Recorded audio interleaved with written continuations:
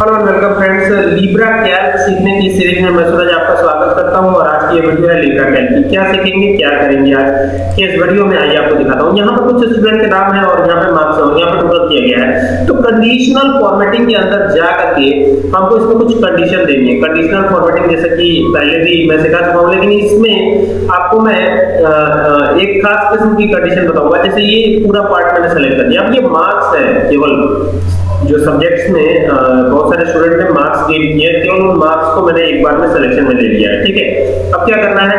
अब हमें जाना है यहाँ पर कंडीशनल फॉर्मेटिंग पर और यहाँ कंडीशन पे आ जाना है। जैसे कंडीशन पे आएँगे तो ये एक विंडो आपको दिखाई पड़ेगी। यहाँ करना क्या है? यहाँ पर आपको चूज़ करना है इज़ बिटवीन क्या चूज़ करना है? इज़ बिटवीन इस कंडीशन के बारे में बता रहा हूँ। तो ये इज़ बिटवीन चूज़ कीजिए और यहाँ पर मैं चाहता हूँ कि ज़ीरो से लेके उनचास तक के बीच के सारे नंबर आ जाए, ठीक है? और यहाँ पे कर देता हूँ न्यूज़ टाइप अब ये न्यूज़ टाइप करेंगे तो ये नया डायलॉग बॉक्स आएगा, आपके आप चाहे तो यहाँ पर कोई नेम इसको प्रोवाइड कर दीजिए। जैसे मान लीजिए मैं यहाँ पे अपना ही नाम दे देता हूँ, ऐसी बारे सूरज दे दिया।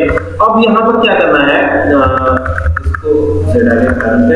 अब यहाँ पर क्या करना है? ये जो बैकग्राउंड है ना, इस बैकग्राउंड पर चले आप जो भी लगाना चाहते हो बॉर्डर लगाना चाहते हो बैकग्राउंड लगाना चाहते हो whatever you want to apply here you can apply easily okay तो कलर पे आपको करना है क्लिक तो ये जो कलर है, इस पे क्लिक कीजिए।